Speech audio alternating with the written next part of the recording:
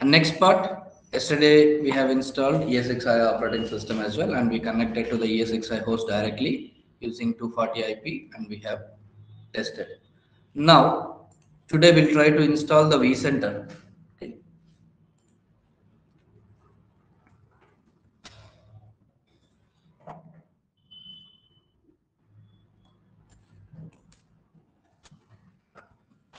I think yesterday I have given some task, right? Anyone found the answers for it? If found, like chat here, type your answers. So before we perform any task, like we need to know like what are the minimum requirements. So for vCenter installation, what are all the things that we need?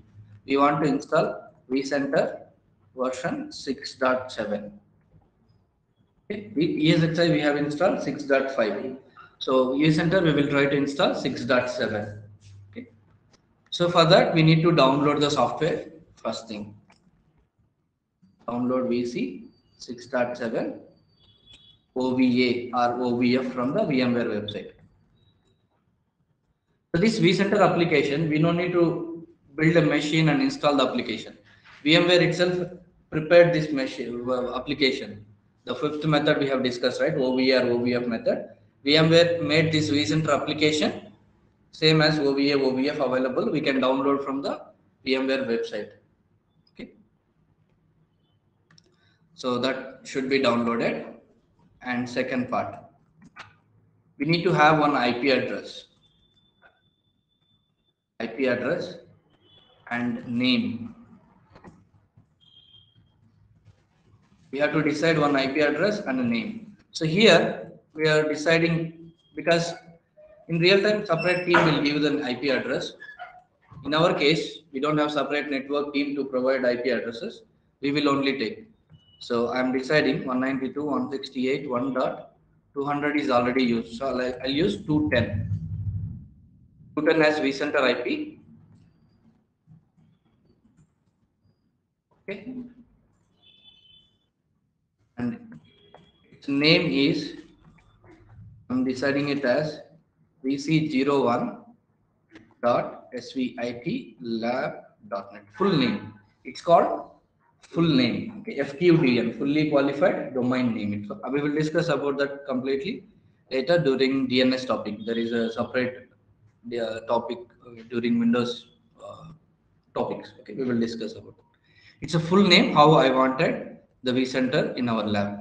Okay and domain name that we know that svit lab.net is our domain name dns server ip is the DNS server in our lab. In our lab, it is 192, 168, 1.150. This much information we need. So last two parts, you don't need to worry. We have separate topics about this DNS and also the domain. Okay, it will take a half an hour domain and half an hour DNS. We will discuss later. As of now, if you know this much information is enough. So we are ready with the information and we need to see like whether vCenter 6.5 is available here or not. In my laptop, it is not there. I'll show you how to download from VM. Okay, now we can download. I think personal account also works. No.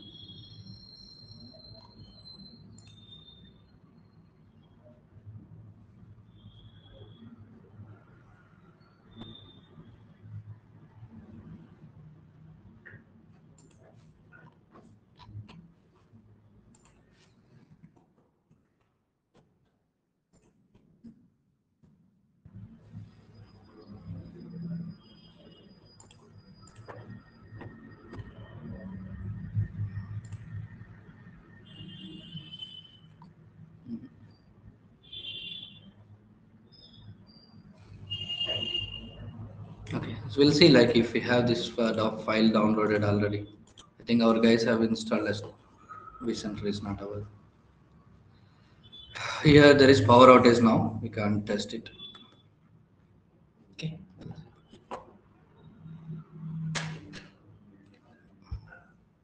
So we have already one ESXi machine here, right? So this is the physical server. With ESXi installed on it is having an IP address of 192.168.240 the same network. This is network switch.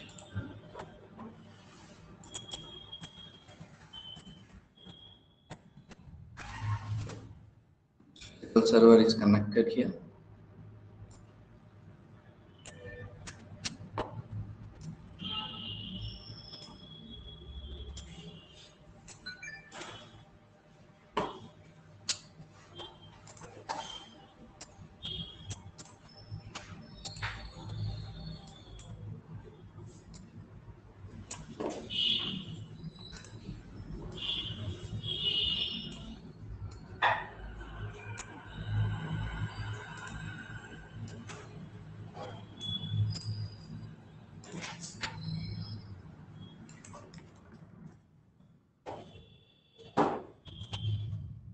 admin is sitting here. So we have downloaded VC 6.7 ISO as well.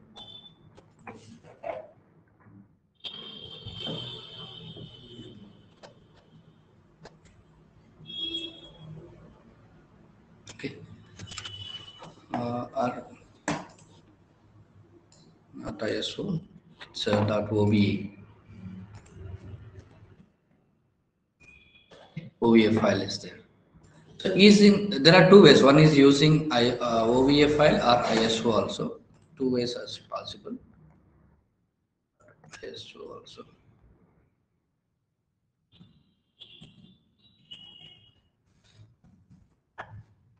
So using ISO also we can install or using OVA also we can install. So here, when you run this ISO installer, it will ask where you want to deploy the virtual machine.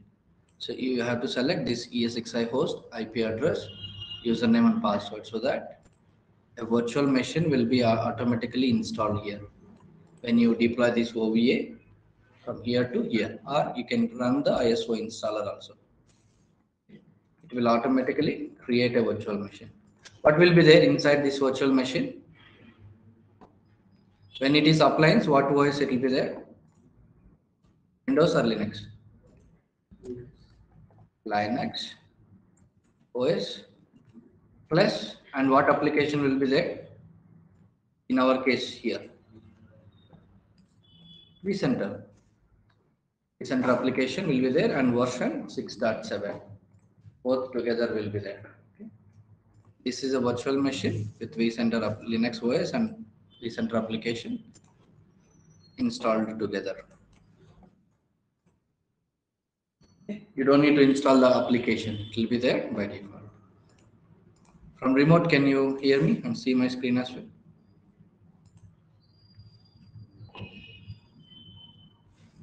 Fine. So while deploying from this ISO or OVA, we have to enter this information. So we have to keep this information ready before you start the installation.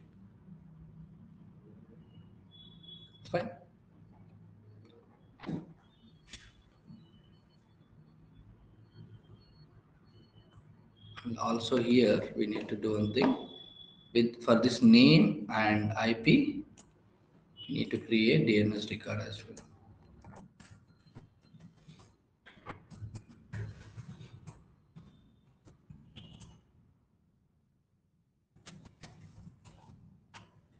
We'll discuss again. This is part of DNS. Okay, DNS topic. For this name and IP, we have to create. To test it, like our lab is not available, we have to wait for some time. Okay. Meanwhile, if you have any questions, let me know.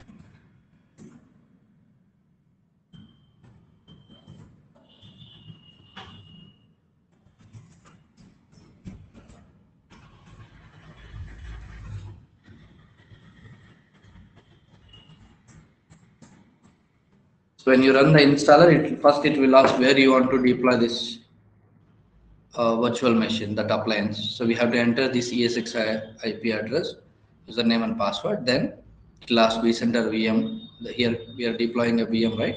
That VM details we have to enter, like name, IP, subnet mask, gateway, DNS. This information we have to enter here.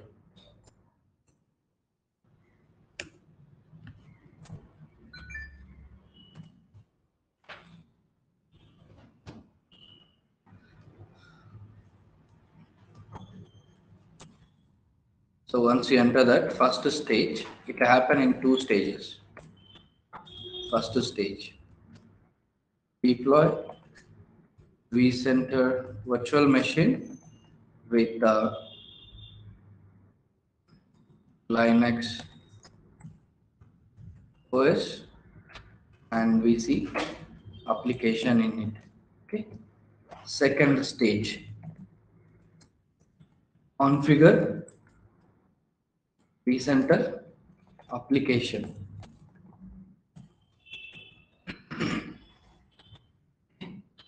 In the second stage, we have to select vCenter application configuration. VC application configuration involves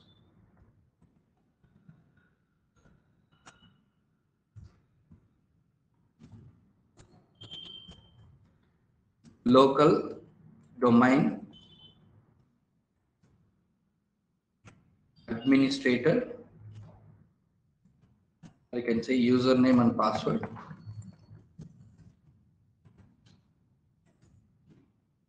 before that confirm the IP configuration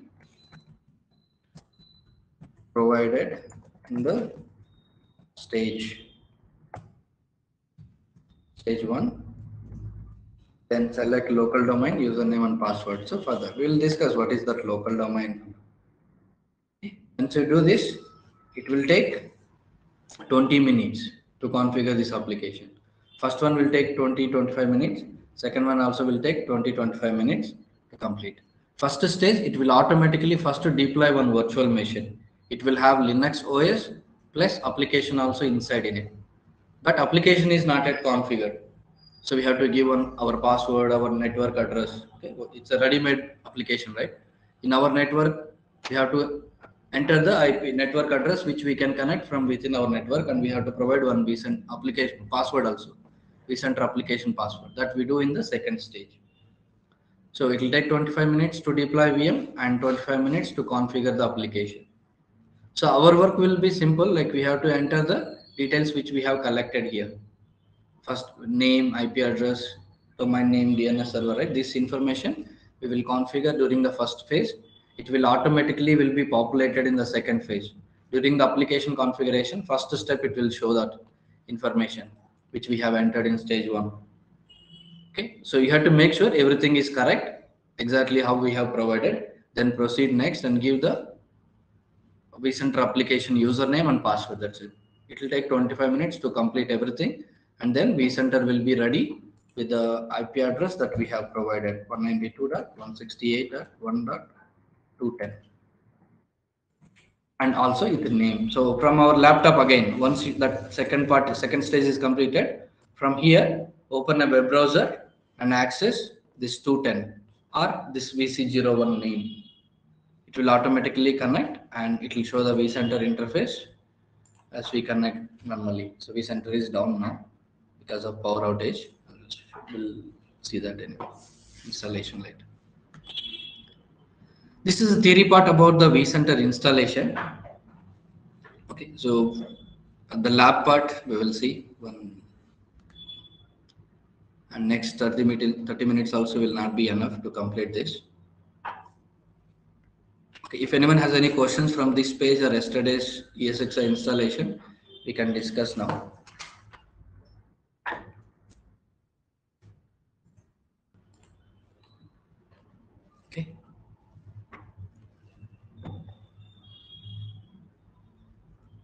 or else during the next class, I'll show you this, how to install this vCenter. Meanwhile, you be ready with this information at least.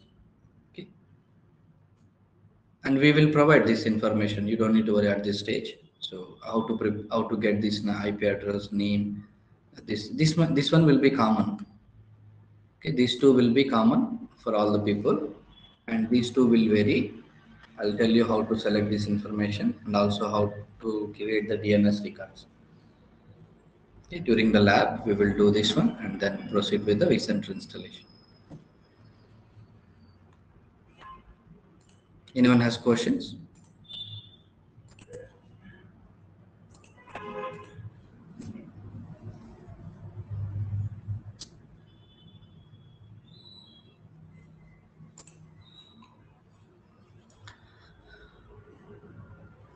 Any other questions until now, whatever the topics we covered, right? Any question from until today, we can discuss. Because here there is power outage. We can't do much further, that's why. Venkat, are you there? No? Yes, here. You have any question? Anything like even af beyond these to- topics which we cover?